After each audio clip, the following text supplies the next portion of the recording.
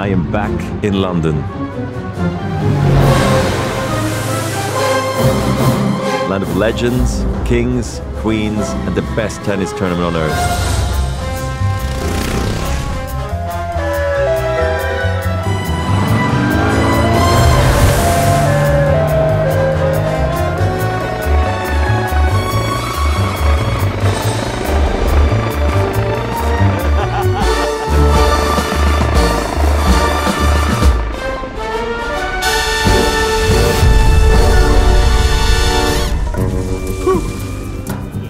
Made it.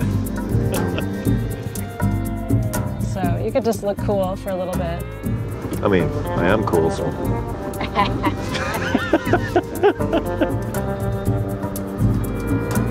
I mean, the last time I was here was just down the Thames, you know, playing at the O2 Arena, celebrating, I think, my retirement. Uh, it was a beautiful moment in my in my life, really.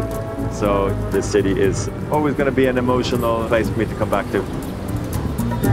The victory here in 2001 against Sampras uh, at Wimbledon was super significant. Playing your hero on the most famous and probably for me the best court in the world in tennis, it's almost too much to, to handle at once.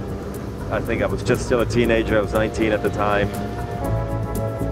My first Wimbledon in 2003 was so significant.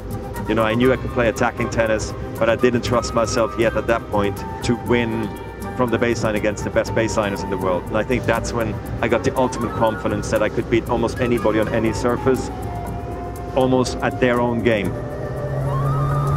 I'm so happy looking back that I was able to handle that pressure of actually winning the finals against Philippoussis. I was already half crying as I was going through the motions, lining up to serve. A lot of people thought, okay, that's so nice that you're sharing your emotions. Others saying like, oh, men are not supposed to show uh, this uh, this softness to them. And I'm like, well, honestly, I'm actually happy.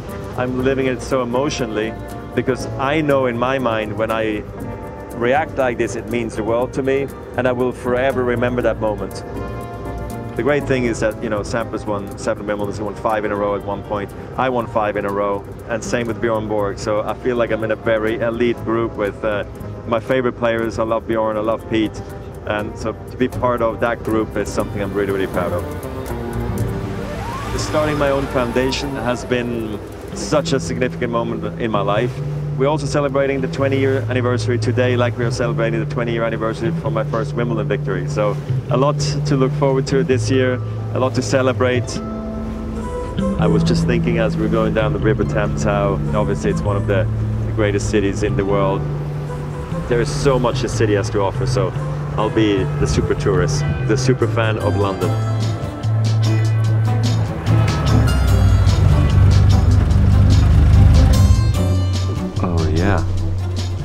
No engine is also nice. yeah. Are we here yet? Let's go.